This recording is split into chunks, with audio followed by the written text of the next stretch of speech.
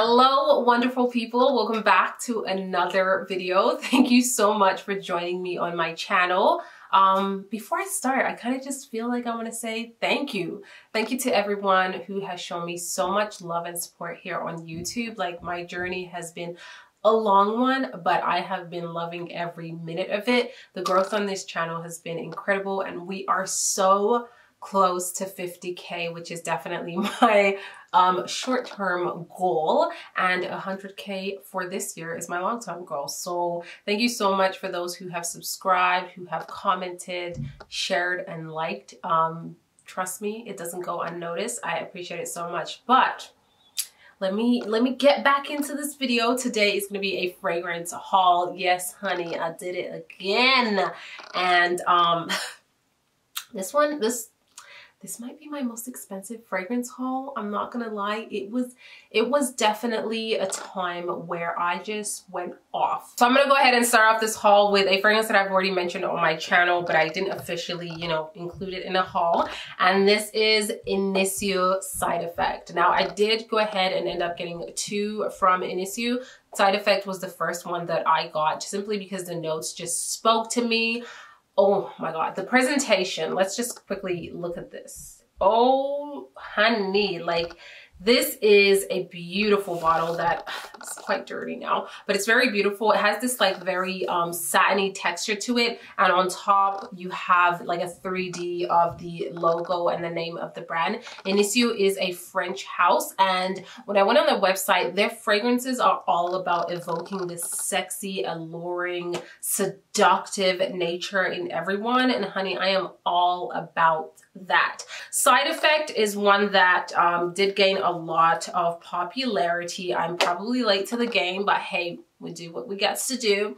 And here is how that bottle comes. There is a little card back here but I'm not going to get too specific in all the details because this is not a review video. If you guys want to see a review on the House of Initio, definitely let me know. This to me is niche. Like you're paying for the juice, but you're also paying for that wonderful presentation. I want to experience this fragrance from the moment I open up the box. So the notes listed online aren't really a ton of notes. It's very simplified, but I do know that a lot of fragrance house nows are making it very simplified for users or customers to really understand the vibe of the fragrance. In this one, I believe there's vanilla, there's tobacco, cinnamon, and rum. Um, and those just really, really intrigued me now. Oh my God, it is just sexy. Honey, this fragrance is everything to me. It definitely reminds me of Kilian's Angel Share, but I want to say the rum in here is totally different from the cognac in Angel Share. Um, it's a little bit more refined. It's sweeter also, and the vanilla in here is so gorgeous. Just little, it literally smells like a real vanilla pod in here. The tobacco is very wearable. It's not too abrasive in my opinion, and it doesn't lean too masculine. I actually think this leans quite feminine because there is quite a bit of sweetness in this fragrance and I love wearing this. Um, quality and performance is definitely 10 out of 10 for me. It lasts forever on the skin and on my clothes. And I just love this one. And then the second one that I got from Initio is high frequency and it does come kind of in the same uh, box and packaging and everything like that. They are part of the same collection. I believe they have maybe two or three different collections within the house. Um, high frequency is another stunning one. And when you look up the notes, it's very minimal. Like I just looked it up online. There's Hedion, Almond, and Magnolia um, listed on Fragrantica. But to me, this is definitely a very white floral type of fragrance with a little bit of nuttiness. But there's so much more to this fragrance than what I am seeing online. I'm actually going to spray this on my skin. Oh my God, it's stunning. Mm, you have to like that bitter touch in your fragrances because the almond in here is a bitter almond and you definitely will pick that up right away when you spray this fragrance. But the bitterness in here gives it a very unique touch to this fragrance. It's not just traditional white floral. Um, I definitely get uh, the elements of white floral in this fragrance. It doesn't become too powdery on me, but just slightly. Like the powderiness in here is more of like a silky powder rather than it becoming a little too vintagey.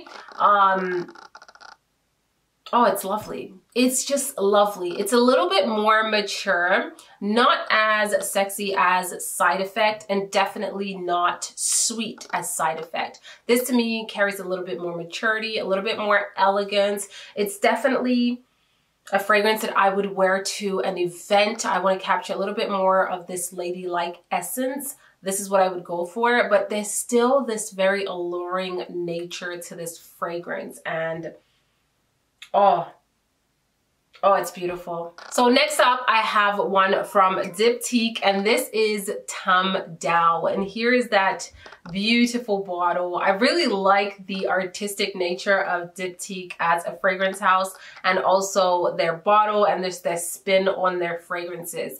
Um, Tam Dao was definitely a kind of like blind buy. It was at a great price. I did not get this from the store itself. It was at a great price, so I couldn't like pass up on it and I definitely want to add more diptyque, diptyque fragrances within my collection because I, I'm really enjoying just the entire philosophy behind the brand. This is not for everyone, okay? I'm gonna say that right away. It's not for everyone. It's not a safe blind buy. It is definitely leaning towards the masculine side. Um, even when I look up the notes, there are no, there aren't any notes in here that really kind of mesmerize me aside, aside from spices and amber and maybe a little of the white musk. But everything else was just kind of like, eh. But I mean, like I said, it was a great price. Um, this is a very woody, cigar-like fragrance. Like this to me smells like a man just walked out of a cigar house and maybe was having a couple of whiskeys. That's what it smells like to me. I'm not gonna lie. Um, I probably would never wear this alone, but, okay, here's the big but. I did layer this with Kayali Vanilla 28 and a beauty, okay? It just added this smokiness, this like deep element uh, and woody element to Kayali Vanilla and they really paired nicely. Now I definitely went less with this one and more with the Kayali fragrance but this is probably a scent that I will be layering with my very sweet scents to add a little bit more depth and a little bit more character, a little of that smoky cigar-like element um, because this definitely to me has more of like a tobacco essence to it even though when I look up the notes there isn't a mention of tobacco. I do see cedar, sandalwood, and Brazilian rosewood. Maybe a combination of that gives you this tobacco vibe. But for me, I definitely get a tobacco vibe. So if you're a man, I would 100% recommend this because it does smell quite manly. And if you love the scent of woodiness and cigar-like, this is probably a scent for you. But for my ladies, not a safe blind buy. Next up, we have a fragrance from the house of Mugler, and I am just gonna flat out say that this was a complete fail. It was a blind buy, and I was really intrigued by this um, collection from Mugler and the bottle and everything. And when I looked up the notes, they seemed really interesting. Like we have bourbon pepper, we have bourbon uh, Bulgarian rose, nutmeg, we got a little bit of oud in here, we got cedar in here. But unfortunately, honey bunny, this didn't work on my skin at all. So it's not going to remain in my collection, but I just wanted to let you know what I thought of it. So I really like the bottle. It's definitely different because, I mean, it's Mugler. You're expecting to get something totally different. As for the actual scent, I'm not even going to say the name. I'm just going to show you guys right here because I will probably completely butcher that name. um, what I'm finding uh, about myself is that I cannot do heavy ouds. Like heavy animalic ouds just turn extremely dirty on me. Like they come off very, very barnyard-like. And unfortunately, the oud in here did the same. I'm not gonna spray it on my skin. I'm gonna spray it in the box. It just smells very like barnyardy, a little bit like pee on my skin. It really did not work out for me at all. Um, it has this like very sharp greenness to it also, like almost like grass, which I'm assuming is coming from the patchouli in here also. Um, it's just a no. It's it's a no for me, dog. it didn't work out at all and I'm not gonna spend much time talking about it. It really just didn't work out. If you cannot handle heavy ouds, like animalic ouds, um, heavy doses of patchouli that are more of like a dirty patchouli, don't, just, you know, try and sample it at least. But if you love that, you will probably enjoy this one. On me, unfortunately, it is a it's a no, honey. So for the next one, I am eating my words up because I said that I was not going to get it. And um, I found it at a really amazing price and I just could not resist. So I did end up getting Tom Ford's Black Orchid Parfum. This bottle is just... It's over the top and I absolutely love it. Like this is just amazing. Honestly, this gold, shiny, metallic in your face is just everything to me.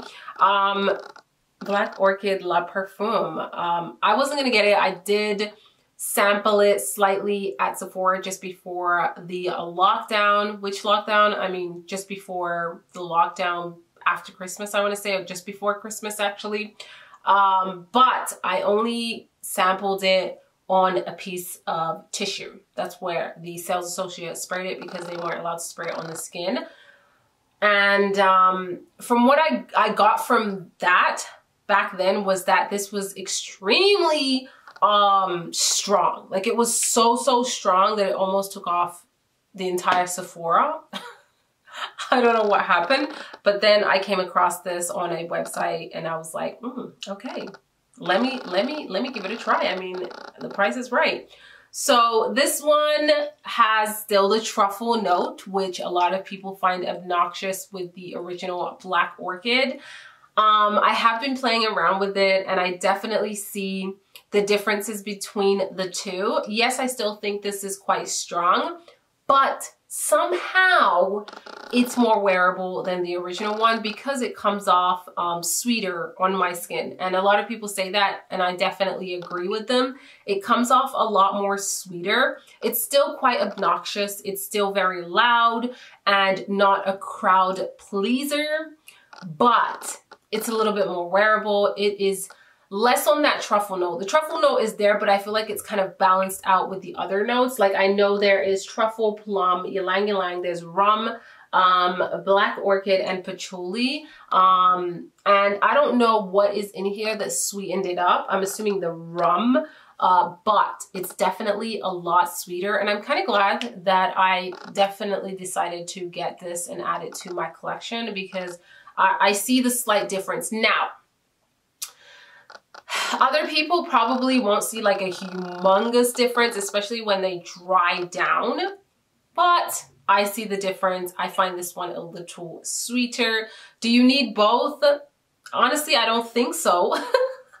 but I love them both, but you do not need both. If you found uh, the original Black Orchid a little too obnoxious, that truffle note was just too in your face, try out the Parfum version because I do find, even though it's still very loud, it is a little sweeter and a little bit more wearable in a weird way. But yeah, this one is in my collection now. Well, I just now realized that I had um, mascara flakes all over my eye. Let's just ignore that and continue with the video. Um, next up, I have a fragrance from Kilian and I couldn't pass on this offer either. So I kind of did this completely blind and um, do I regret it? I honestly don't know just yet. So this is Kilian's Black Phantom and let me tell you something. This is strong, strong. So I got uh, this one over here, the way it comes right there. It does have the card from Kilian and that's the way it looks. I know that some of them come in like a box with a key and all that good stuff, but I mean, I really don't know that. I'm smelling the card because I did spray the card with this actual fragrance. And um, when I first got it, we were in the car and I sprayed the card and everyone in the car, my kids, my husband were like, what is that? They detested the smell of black they really didn't like the black the black phantom honestly. Um they thought it just smelled awful completely awful. And now that's throwing me off because every time i smell it that's what i think of. Um, my husband says it smells like an old man with bad breath. So I'm kind of indecisive. Do I like this? Am I trying to make myself enjoy it? Uh, I really do not know if it, if it's going to be a keeper. I love the bottle. The bottle is absolutely stunning. Look at that. Oh, yes. It's really beautiful. I find his black bottles gorgeous. Um, but this scent is very strong. Like, it's pretty potent. Like, a tiny little spray goes a very long way. This is not a gourmand. This is not a crowd pleasing scent. This is definitely a daring fragrance for me. It is kind of in the realms of black orchid. You're either gonna love it or you're gonna hate it type of deal. And it's not for everyone. It's quite potent. Black Phantom, I mean, it should tell you it's gonna be a very deep, um, daring type of fragrance. Let me just spray that on the card. I should have just did one spray actually. yeah, when I smell this, it smells very kind of woody, tobacco-y. It definitely leans more masculine to me. It's floral, like I do get some kind of floral notes in here. Let me pull up the notes actually. When I look up the main accords for Black Phantom, they sound incredible. Sweet, warm, spicy, caramel, coffee, chocolate, rum, woody, almond, powdery, and vanilla. Like that is literally me in a bottle. And even the notes, there's dark chocolate, there's rum, there's caramel, there's coffee, sugar cane, almond, sandalwood, and heliotrope. When I smell this, I don't know. There's something in here. I think it's the heliotrope that's really kind of just throwing me off completely. Um, the opening to me smells very like manly. Like I get way more like woody kind of tobacco vibe. And then in the dry down is where I pick up more of those gourmandish notes. I don't get too much of that rum, but I definitely get more of the caramel and the dark chocolate in here. The coffee, not super predominant to me. I wish it was actually a lot more predominant, but the rum is really balanced off with that kind of vanilla note in there. So it's it smells like a very rich, deep, uh, almost like boozy vanilla rather than just getting that rum note in here. It's, it's something that's throwing me off. Like the opening, I don't really enjoy the opening. The dry down, I enjoy it a lot more, but something in here just isn't coming out of my head and it's kind of like blocking me from really understanding and loving this fragrance. So it's one that I have to play around with. I have to spray it on my skin, let it sit again and again because I have done that already.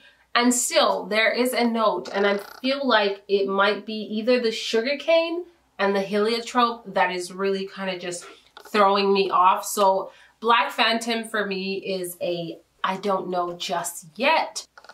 I will definitely keep you guys updated on that fragrance and let you know if it was a keeper or I ended up just getting rid of it because I'm very, very, very indecisive. Okay, next up we have uh, my first fragrance from the house of Van Cleef and Air, Arpels, Arpels. my box is completely dirty, so excuse use that. So that is the fragrance that I went ahead and got. Again, I got it from a website and it was just like an incredible price. I couldn't give it up. The bottles are stunning. I really, really enjoy the bottle. Let me just fix that over here. How pretty is that? Ooh.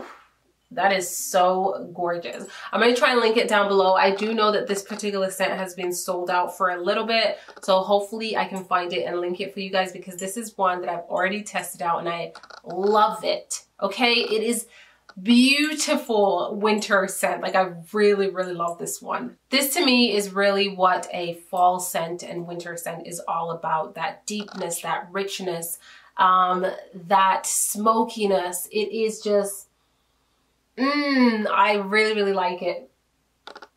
You get the tonka bean in here right away. Like I really pick up the tonka bean. It's a little sweet. Um, it's warm. It's vanilla. It's spicy. The notes are beautiful in here. There's vanilla, there's almond, there's tobacco, there's tonka bean, there's teakwood musk. There's even mineral notes, which is the first fragrance that I have with mineral notes, but it just smells so good and it's very wearable in this fragrance. Um, I don't find the tobacco is heavy. It's a really light tobacco note. So if you're scared of tobacco, do not be scared because this one is just like well-rounded, well-balanced. And I love wearing this scent. It is very potent, so you don't need to overspray this one. The, the atomizer is not my favorite. It's very abrasive, so you should do it really far from your skin.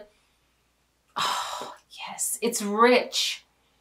It's spicy. Oh, that vanilla in there. You definitely, I would definitely consider this a vanilla kind of base fragrance because I still pick up the vanilla in this one in the dry down and it's just very creamy.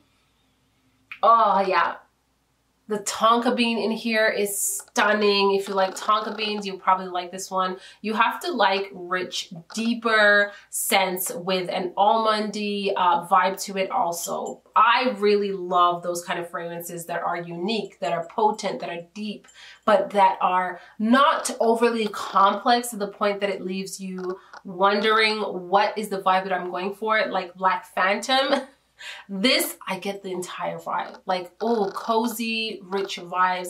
Has this very luxe element to it also. And I feel like it is very different um, from other fragrances that I have for the winter time. So it is kind of like on a league of its own.